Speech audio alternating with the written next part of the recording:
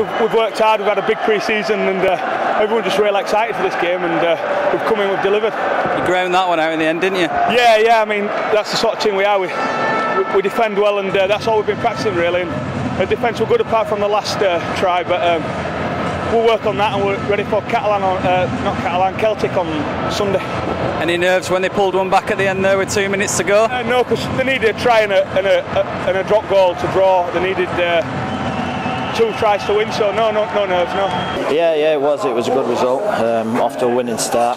The performance wasn't 100%, but uh, it wasn't too bad. What, what, areas would you say there for improvement? You know, well, we set off like house on fire. You know, went 10 0 up and we're all over them. And then uh, for, for, the next uh, 70 minutes, we just seemed to shut up shop. And I don't know, we just never got into the game again in the second half. Invited them into our half, and uh, they nearly got us, but we held out. Um, obviously, they skipped away uh, to a lead there, but we sort of composed ourselves. Um, this bit disappointing. We couldn't um, couldn't finish it off, but um, you know, it's a, new team, new, oh, lots of new players, new coach.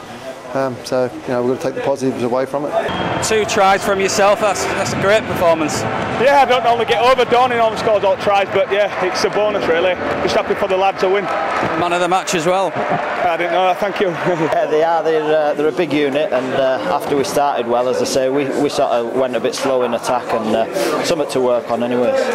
For Rob as well, and obviously it's his first game in uh, Super League as coach. You know, he got a win.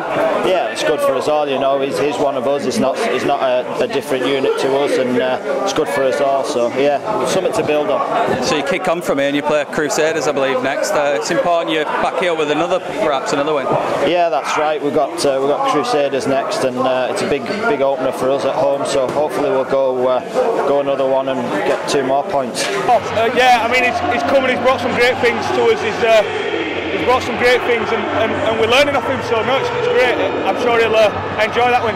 It's a big one for the big season for the Quins as well, and it's important you kick on from this result. Yeah, it's a great start, and hopefully we can kick on from there. Uh, I think just early on we probably um, just pushed the pass a little bit. We, um, you know, we were, probably could have stayed a little bit more composed early on in that um, uh, in the first half there. Um, but just yeah, some good things to take out of it. You know, I thought we some good plays and um, you know, some good attacking opportunities. We probably just the last pass didn't um, didn't stick a few times.